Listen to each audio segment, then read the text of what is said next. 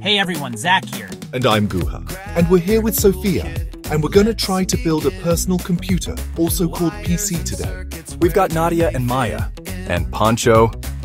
And we've got RV9000 here to help us out. So first up, we have the CPU.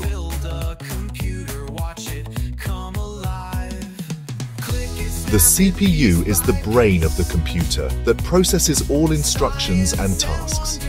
Next up, we have the motherboard. So the first thing you're going to want to do is open up the CPU socket.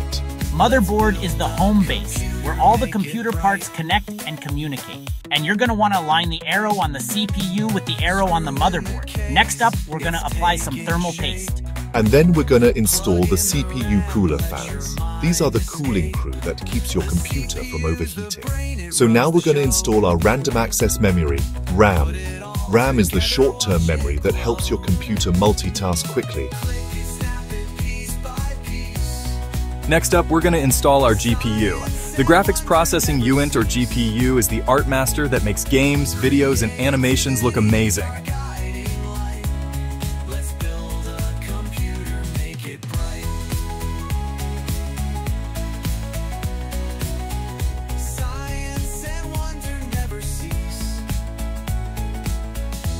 And then we're going to install our SSD, solid state device, is the super fast locker that stores your games, apps, and files.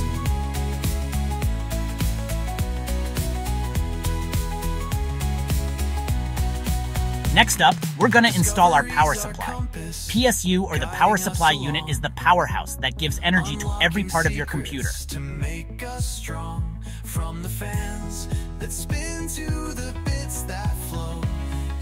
So now we're going to install our motherboard into the case.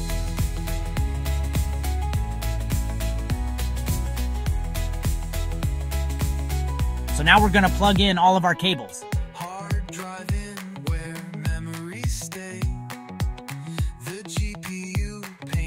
And then we're going to do some cable management. The cables are the nerves that carry information and power between all the parts.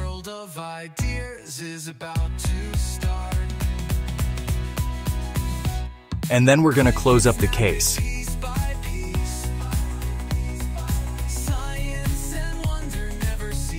And then we're going to power it on.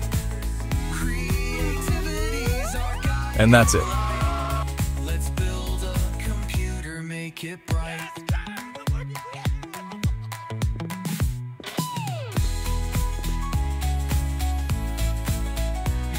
We built a PC.